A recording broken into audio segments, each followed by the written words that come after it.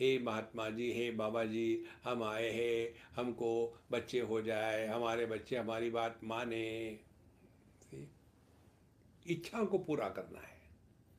इच्छा को पूरा करना संसार है। इच्छाओं से निवृत्त होना अध्यात्म है। देखो, यदि आपके मन में कोई इच्छा ही नहीं है तो आप साक्षात परमात्मा स्वरूप हो। जैसे सुषुप्ति में इच्छा नहीं होती आप उस समय परमात्मा स्वरूप है। लेकिन परेशानी यही है, आपको मालूम नहीं जब तक के उसका ज्ञान नहीं होता, तब तक की उपलब्धि नहीं होती। इसीलिए ज्ञानादेव तो कैवल्यम। तो विनिवृत्त कामा बहुत होगी कामनाओं की पूर्ति, इसका कोई अंत नहीं है। ये भी समझदारी से होगा, कामना कैसी निर्माण होती है, ये समझना चाहिए। कामना निर्माण होती है दो कारणों से। एक तो हमने अपने आप को अपूर्ण माना है और दूसरा जगत को अपने से अन्य माना है। और फिर जगत के वस्तुओं का दर्शन होने के बाद, श्रवण होने के पश्चात जानाती, फिर इच्छति, किसी वस्तु के बारे में जाना, फिर उसको प्राप्त करने की इच्छा हो गई। इच्छा होने के बाद उसको पूरा करने के लिए कर्म हुआ। इसीलिए जब तक के जगत को हम अपने आप से भिन्न मानेंगे, तब तक के अंतकरण में इच्छा होगी, या तो उसका त्याग करो, या तो उसको ग्रहण करो। देखो, यदि इच्छा नहीं होगी तो ना कुछ पाना है, ना कुछ खोना है। इच्छा दो प्रकार की होती है, कुछ पाने की या कुछ खोने की। द्वंद अध्यात्म नित्याय विनिवृत्त कामा। फिर आखिरी में है द्वंद्वैर विमुक्ता सुख दुख सजने ही ये भी बहुत सिंपल साधना है। इस जगत में हर वस्तु द्वंद्वात्मक है। एक भी वस्तु केवल एक नहीं है। केवल सुख नहीं होता, सुख के साथ दुख भी होता है। जैसे किसी भी कॉइन को ले लो, सिक्के को ले लो तो उसको दो बाजू है। हेड एंड टेल इसी प्रकार से हर एक अनुभव की दो बाजू है। हर एक अनुभव का सिक्का उसकी दो बाजू है। सुख, दुख, लाभ, हानि। मित्र, शत्रु, अपना पराया, स्वास्थ्य, रोग। देखो तो ये यदि ऐसा ही है, ये दुनिया का चक्कर तो यदि आप ये कहो कि मुझे दोनों भी साइड सिक्के की ऐसी हो कि मुझे केवल सुख ही सुख मिले? नहीं, दुख भी ले, मिलेगा। स्वास्थ्य ही स्वास्थ्य मिलेगा, नहीं, उसमें रोग भी आ जाएँगे। देखो, इसीलिए संतो द्वंद्व विभुक्ता सुख दुख सज नहीं तो जीवन में सुख दुख को लेकर के परेशान होना बंद हो जाओ। कैसे हो जाए? दुख आया तो दुखी होने का जो अभ्यास है, उसको त्याग दो। यह दुख आया, दुख का अनुभव हो रहा है, लेकिन दुखी हम अपने चॉइस से होते हैं। दुखी मत हो। उसी प्रकार से सुख आया, सुख का अनुभव लो, लेकिन वही सुख फिर से मिले, यह उसके प्रति आसक्ति ना हो। देखो, ये सब बातें जीवन में उतारना, उसको कहते हैं अध्यात्म साधना। और ऐसी आध्यात्मिक साधना के करने के समय क्या क्या विघ्न आते हैं? समाधो क्रिय माने तो विघ्न आयांति वही बलान पहली बात है, अनुसंधान राहित्य। देखो।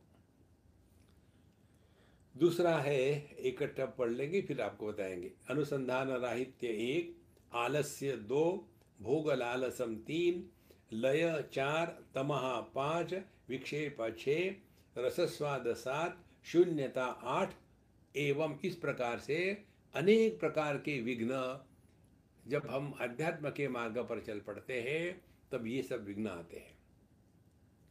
तो यहाँ समाधव का अर्थ अपने स्वरूप के, अनुभूति के मार्ग में क्या क्या विघ्न आते हैं वो बताए। यहाँ समाधि का अर्थ ये मत पकड़ लेना कि एकदम पत्थर के जैसे बैठे हुए हो गए समाधि। नहीं। हम अपरोक्षानुभूति का अभ्यास कर रहे हम जड़ समाधि का अभ्यास नहीं कर रहे तो पहली बात है अनुसंधान राहित्य संधान, संधि माने जोड़ना। देखो। अनु माने अखंड।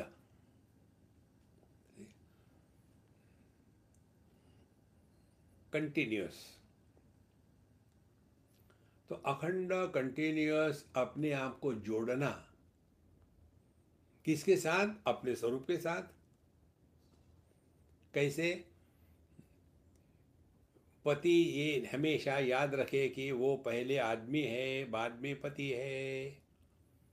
पुत्र हमेशा याद रखे कि वो पहले आदमी है, फिर पुत्र है। पिता हमेशा याद रखे कि वो पहले आदमी है, फिर पिता है। और उसके बाद ये जो पुत्र पति पिता, इनके जो जो हमको रोल प्ले करने हैं, वो बढ़िया से बढ़िया करे। फिर अनुसंधान राहित्य नहीं होगा। तो फिर कैसे जिए?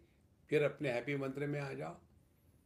Wherever I am whenever I am whatever I am I shall be hundred percent add one more I shall be hundred percent happy देखो तो आप पुत्र होकर के पिता के कारण परेशान नहीं होगे पति होकर के पत्नी के कारण परेशान नहीं होगे और पिता होकर के पुत्र के कारण परेशान नहीं होगे ये कैसे संभव है? कर्नाटक। जो जो आपको काम करना है सिंसियरली करो, बढ़िया करो। लेकिन कर्नाटक माने क्या?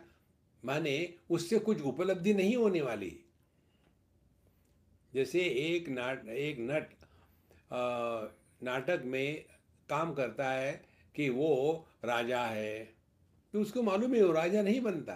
वो केवल एक पार्ट प्ले कर रहा है तो अपना पार्ट बढ़िया से बढ़िया प्ले करे। उस समय भी उसको ये स्मरण रहता है कि मैं राजा नहीं हूँ। ये केवल उपाधि के कारण मुझे राजा कहते हैं। बात में नहीं एग्जैक्टली exactly उसी प्रकार से। देखो कितनी महत्व की बात है? उसी प्रकार से। हमको उपाधि के कारण हम पुत्र बने, पति बने, पिता बने। तो जो जो हमारे कर्तव्य कर्म है जो जो करना योग्य है बी हंड्रेड परसेंट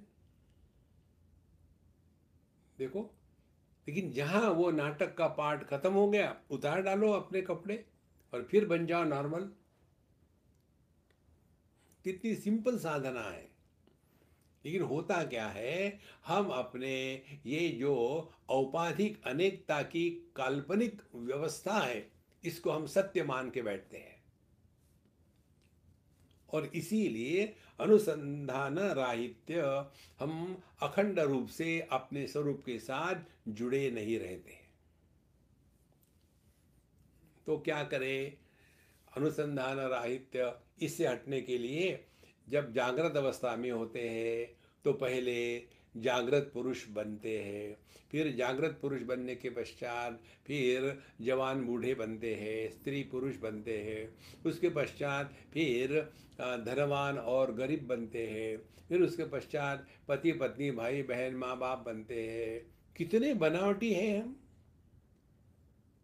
अनुसंधान राहित्य यहाँ याद रखना है, यार ये सब का सब हमने चोला पहन के रखा है भिन्नत्व का, इसीलिए अनेकता का बोझा हमारे सर पर है। यदि हमारे सर पर बोझा होगा तो हमको खुशी थोड़ी होती, हम परेशान हो जाते हैं। देखो, इसीलिए संतो, इसको स्पष्ट समझ लो। औपाधिक अनेकता, यह बोझा हमने अपने आप पर लादा है।